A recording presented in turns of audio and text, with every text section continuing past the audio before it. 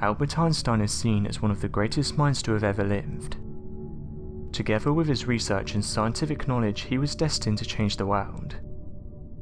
Albert Einstein was a German-born physicist who is perhaps best known for the general theory of relativity. In 1921, he won the Nobel Prize for Physics, and in the following years he decided to travel to the US. Einstein also produced work which had a big effect on atomic energy. In his later years, Einstein focused on the unified field theory. Today the scientific community recognises Einstein as one of the most influential physicists of the 20th century.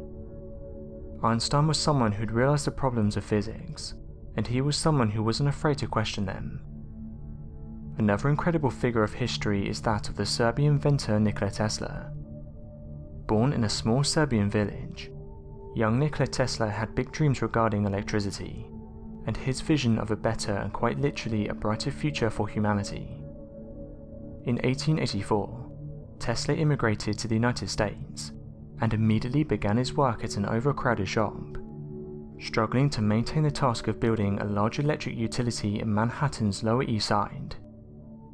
It was this work experience that helped to elevate Tesla into his future, as he became obsessed with his own work, experiments, and theories. Albert Einstein and Nikola Tesla were both experts in their own fields, and over the years they did eventually bump heads.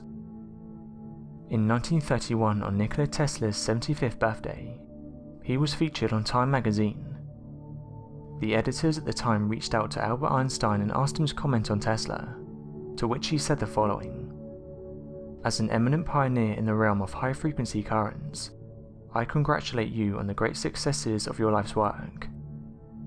Although a short message, those around him had said he always had a high level of respect for the Serbian inventor. It's sad that Einstein and only a few others saw his potential. It's only been in the years after his passing his true talent has been recognised.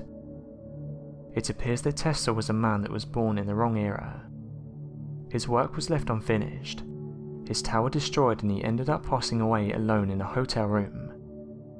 His work left behind has helped to lay the foundation of a better world, but had the world been ready for his gifts, much more could have been accomplished with ease.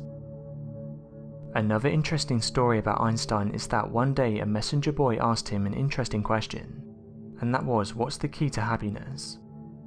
Einstein put pen to paper and wrote the following a calm and modest life brings more happiness than the pursuit of success combined with constant restlessness.